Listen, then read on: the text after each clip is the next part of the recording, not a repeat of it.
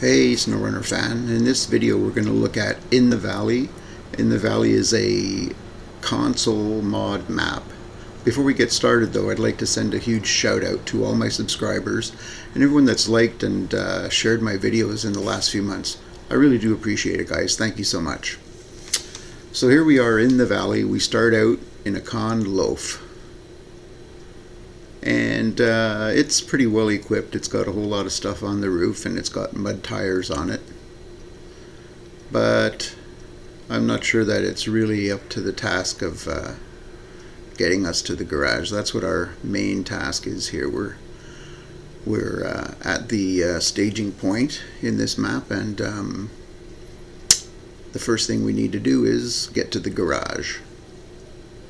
And there's no indication really of where it is, which direction it might be in, anything. No signs. They wouldn't really be helpful. Watch. I'm going to go through the fence here because there's nobody around to open it up for us. They wouldn't really be helpful though because unless you speak Russian, I mean, if you read Russian they'd be okay I guess, since they're all in Russian. So we've already discovered one new truck, a Don 71 new trailer, scout flatbed, a new objective, an experienced driver, and a new truck, a Tuz. Alright, let's trade up for the Tuz here because that'll give us a better chance of getting around I think in this terrain. It's pretty pretty rough actually. So we'll park the con loaf and we'll get into the Tuz and off we'll go. Now the thing is, I've looked around and I know where the garage is because I spent a couple hours playing around in here. And I know that it's actually bust down that wooden gate and hang right. But I wanted to pick up the different scout vehicle first, so I hung a left. So we're just going to go back past where the uh, initial drop-off point is as though we had come out and hung a right. So here we go. Another objective.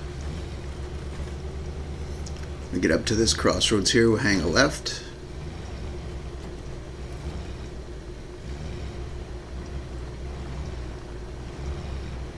And basically what we're going to try to do here is circumvent this giant body of water. Not sure if it's a river or a lake but it's large and there are some bridges out at different points so we really have to uh, pick and choose which direction we go at, at the different intersections.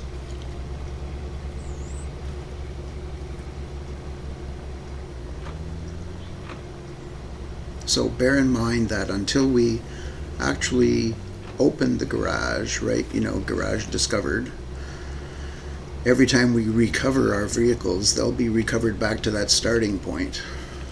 Okay?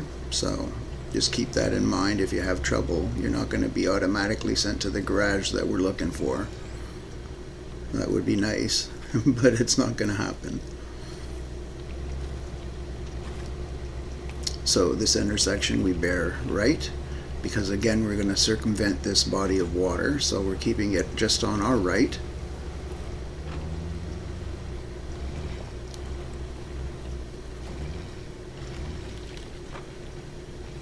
glad I uh, took a moment to trade the loaf for the Tuz. It's going to give us a better chance of getting through some of this terrain, I believe.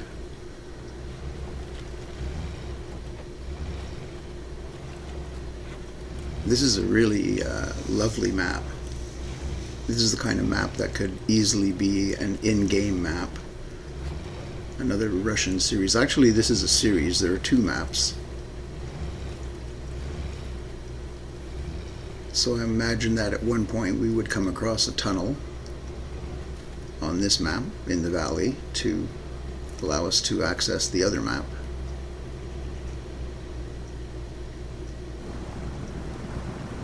So we're going to fight our way past this muck here.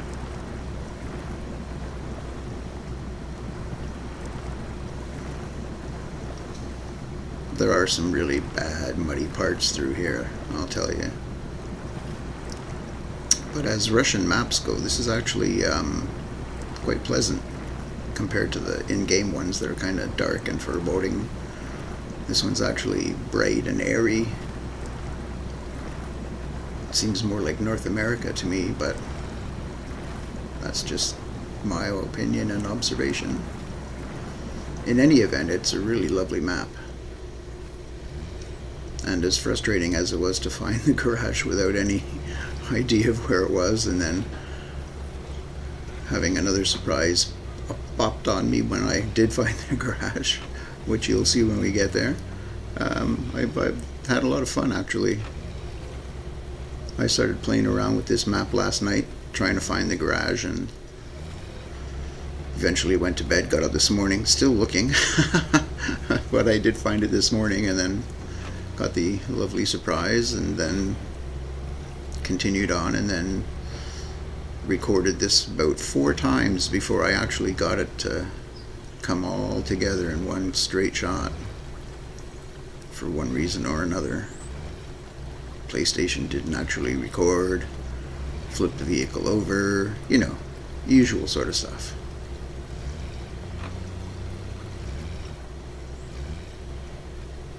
We should be getting pretty close to the garage, though. We've been out a couple minutes now, and I know it's only about, oh, I'm going to say three and a half or four minutes away from the starting point. Despite the mud puddles.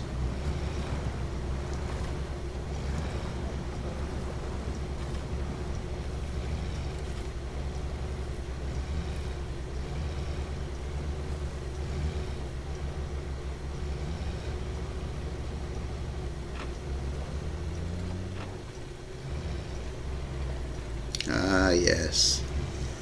Here we are. The last bridge, I think. Yeah, here we come. So you're thinking, well, come on, Michael, that wasn't so bad. It was only a few minutes. What are you complaining about? Some garages are, you know, even more difficult to get to, harder to find. Yeah, could be.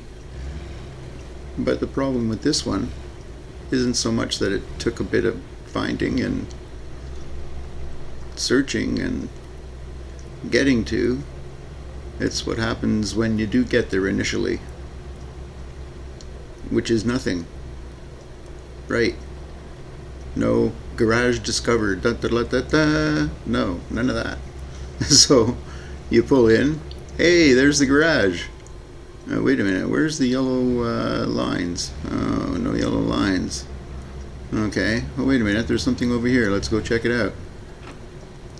Ah, a new task. So, garage keys. The guy that's got the keys has left, probably off to get drunk. Don't know when he'll be back. Can't get in without the keys. Could you get him? Yeah, I suppose nice surprise. Finally find the garage and uh, it's locked. Okay then. Well, uh, one good thing, or three good things I guess, really, is that there are several trucks sitting outside of the garage. Voron, Grad, uh, Taiga 6436, and uh, Azov, what is that, 5319, I think? Nice. So we'll switch over to the Tayga 6436. Since it has way more gas than the little Scout, we could gas up the Scout on one of the trucks and continue on, but still I find that uh, there may not be enough gas to get from here to where the uh, where the keys are actually located. So we'll just take the Tayga instead. And uh, that should do the job of getting us there. So park for a moment. Find out exactly where the keys are on the map. Under tasks. Set a marker for the NavSat, navigational satellite, the blue marker And we're off. In search of the guy who has the keys.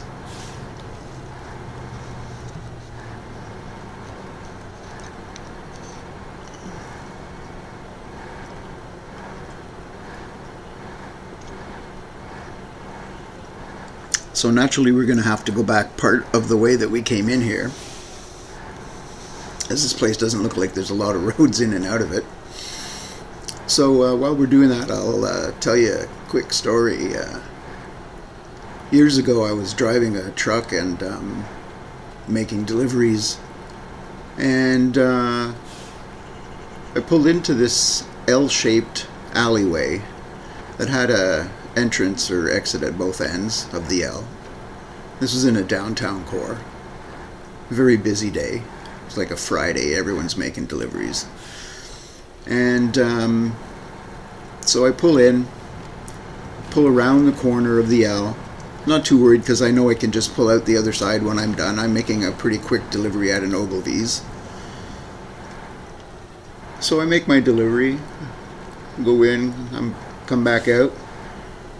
Holy crap, down at the end of the lane, there's a giant beer truck taking up the entire lane. There's no way that I'm going to get past this guy.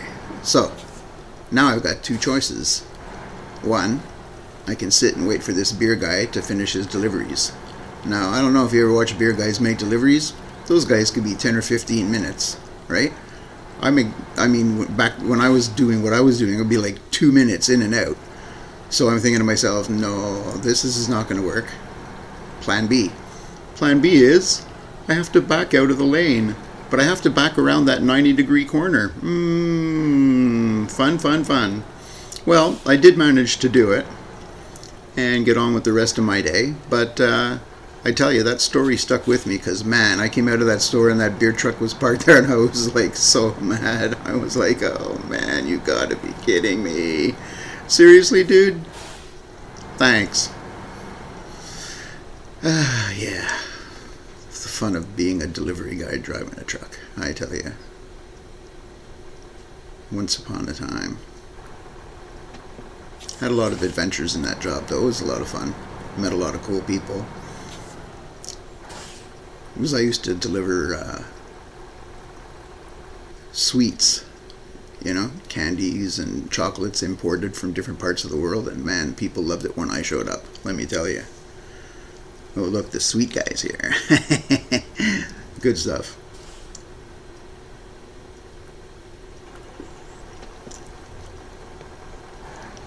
All so just getting my bearings here.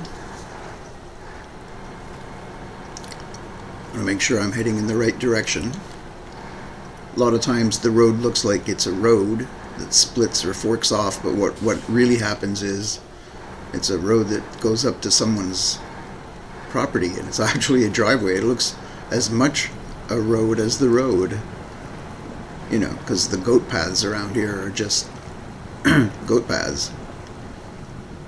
What kind of vehicles all these people must drive? 4 by 4s or something. Live in the middle of nowhere.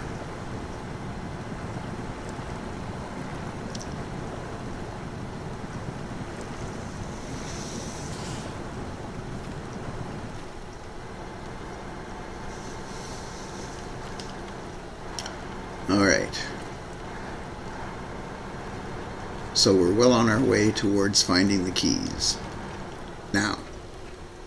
Here's the thing to remember. Even though you have found the garage, you have not opened or discovered it, shall we say. Right? Haven't discovered it so that it's open. Now you're going for the keys. So you'll have the keys, but you won't be at the garage. And if something happens and you go to recover, you won't recover to the garage. You'll recover back to the starting point.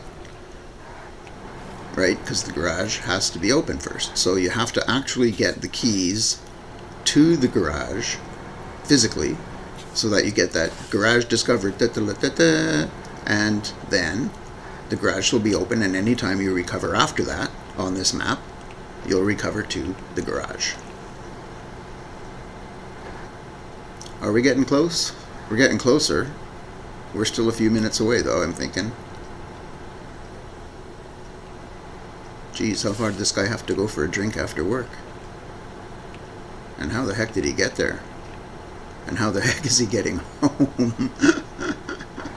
I'm hoping someone sober drives him, because if he goes out, be a warning tomorrow. Uh, truck stuck somewhere. Guess who? Went out drinking and got uh, stuck off the, one of the roads. Yeah, for sure. Not that I'm advocating drinking and driving. Definitely not. Very bad thing. I'm just saying, if the guy's gone out having a few drinks, I mean, this is not exactly a place where you hail a cab. yeah, I've had a couple too many, man. You want to call me a cab? yeah, yeah, sure. It'll be here in about three days. No worries.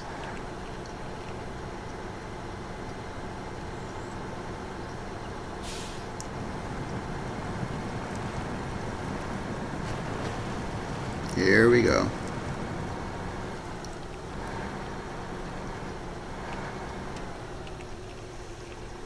See what I'm see?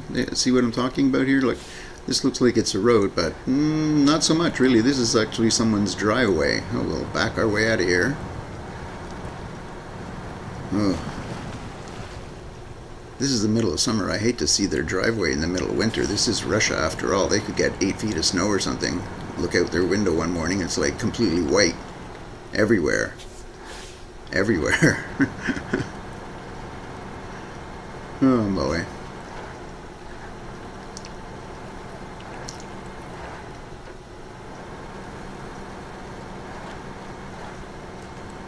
Ah, yes. I remember this place. Look at this with the wires hanging down. This is not good.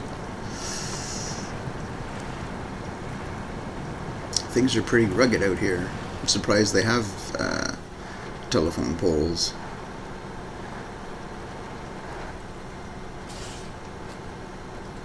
Ah, yes. We're coming up on it now. On the gentleman with the keys. Not too far off.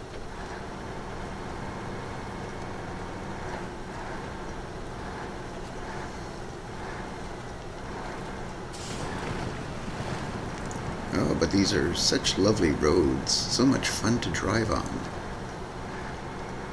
Ah, here we go.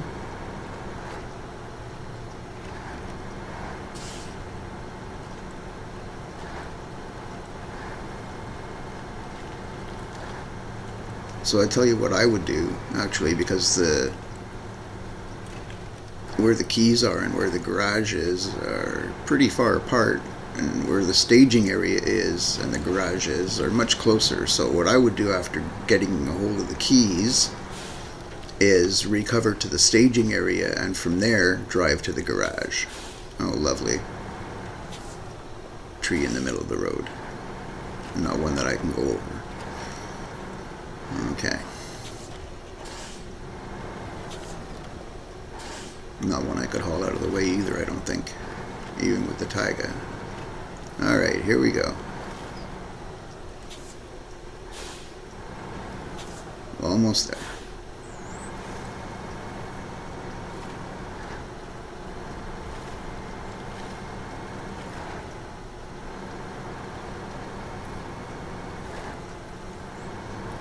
Oh, here's another tree. This one I can go over though. If I'm not going to tag that one along with me. Here we go. Alright, just double checking. To get a bearing on this. Still a little ways off actually.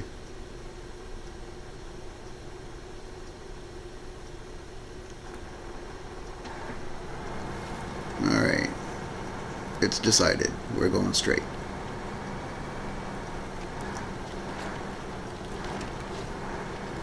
Another new truck, the R87.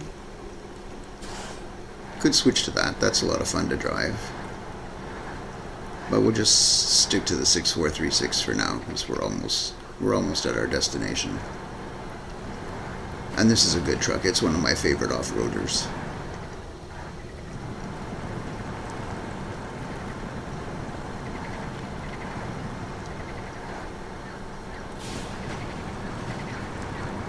Of course, I love the upgraded versions like the 6437 and I think JBE has a, has a, a 6436 out.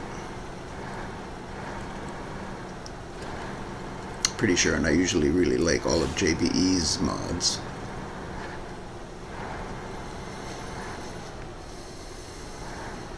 Well, we're close. Like, uh, throw a rocket, it would bounce off it close.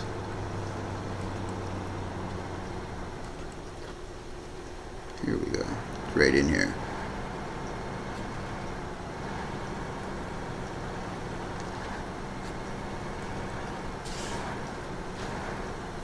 Alright, new trailer discovered. Sideboard. New trailer. Prototype exploration unit. Alright, toss a few sticks around. Make the camera dance. And we've been promoted, level 2. And we have the keys. The task is completed. Alright. So as I said, the thing to do now is get the keys back to the garage and open it up. So if you enjoyed this video or found it helpful, I'd um, really appreciate it if you took a moment to subscribe like, and share. And in any event, stay safe, take care, and until the next video, bye for now.